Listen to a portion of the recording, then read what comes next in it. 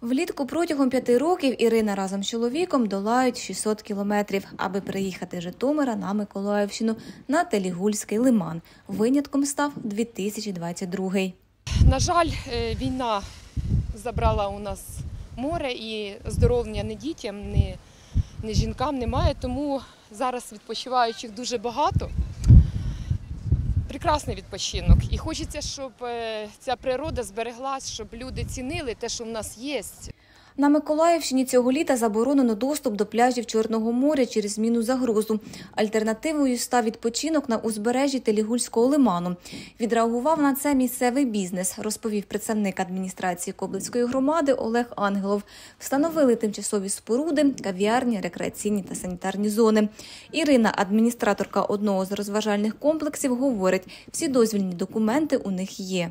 Дозвіл на розміщення тимчасових споруд нам надала Коблевська міська рада на основі підписаного договору з регіональним ландшафтним парком Телігульський. Тобто у нас офіційно на проведення рекреаційних е, заходів. Так, ми офіційно платимо податки громаді.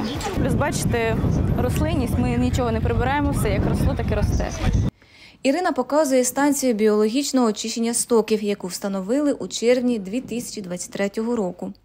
Сюди потрапляє е, стоки з кухні та з туалету.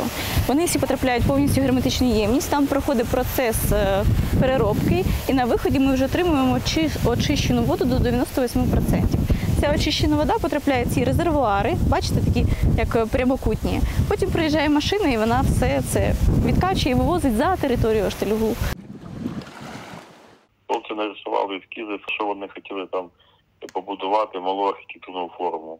Рішення виконавчого комітету було, ескізи фасади були, і ці документи подали мені на согласування. Я їх согласував, то питання, ну там е, порушень ніяких не було. На земельну ділянку дозвіл їм дав е, Троєвузький ландшафтний парк. Документи всі були в повному обсязі, тобто ну, ніяких причин відмовити ну, у мене як у посадової особи не було. Сумарна площа регіонального ландшафтного парку Телігульський складає 10 тисяч гектарів. Під рекреаційну діяльність відведено менше гектара, говорить тимчасово виконуючий обов'язки директора парка Олександр Дяченко. Одне з завдань регіонального ландшафтного парку місцевого значення це рекреаційна діяльність, це відпочинок, це туризм.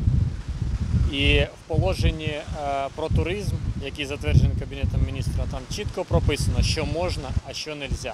Все, що встановлено на території парку, воно є тимчасове, воно не порушує покров і воно не будується з фундаментом і воно не передається в оренду, воно не надається власність. Регіональний ландшафтний парк Телігульський, як і будь-який національний природний парк, повинен мати зонування, говорить екологиня Інна Тимченко. Та зараз е, ділянка, де вона дуже популярна серед туристів, е, і в цьому році там встановлені е, різні розважальні заклади, кафе, вагончики, проведена комунікація. Ця територія є дуже важливою з точки зору збереження біорізноманіття. Там є оселища морківниці, це червона книжна рослинка. Вони всі виконують певну свою функцію. Також там є озеро, де гніздяться птахи. Комунікації були проведені спочатку до кінця коси, повз озеро. Е, І, е, звісно, е, така кількість людей, машини, такі ну, заходи, інфраструктура, вони дуже сильно впливають на птахів. Навряд чи вони туди захочуть прилітати і гніздитися. За словами Олександра Дяченка, станом на липень ведеться робота по обмеженню руху автомобілів територією Чілової коси, яка є частиною парку. Ми відгородили шпіль коси, дуже велику територію, щоб не порушити покров шпіля перед тим, як встановлювати рекреантів на території коси. Вона була обстежена, а морковниці не було знайдено, тому що якщо б ми знайшли її, ми б її огородили огорожею, повісили табличку, що це морковниця. Ці великі птиці, які тут були, вони е, пішли в глуб е, парку, там, де більш дика територія. За словами виконуючого обов'язки начальника управління з питань туризму Миколаївської обласної військової адміністрації Романа Мамчура, Телігульський лиман одне з небагатьох місць в області, де відпочинок туристів безпечний. Встановлені шлагбауми, е, встановлені сітки на косі, але вони встановлені не з метою там обмеження доступу відпочивальників та місцевих мешканців до коси, а лише з тією метою, аби коса е, могла е, відновити свою фауну. Екологиня Інна Тимченко говорить, що рух транспорту на Телігулі треба обмежити, а до місць відпочинку діставати спішки. Так, за її словами, можна зберегти заповідний фонд. Має бути десь місце, де облаштована буде стоянка, де облаштований буде кемпінг.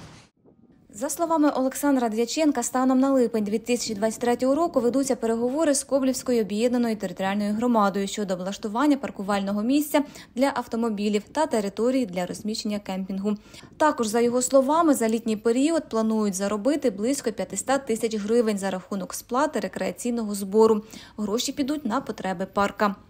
Ніна Булах, Юлія Філімон, Євген Мінаков, Суспільне новини, Миколаївщина.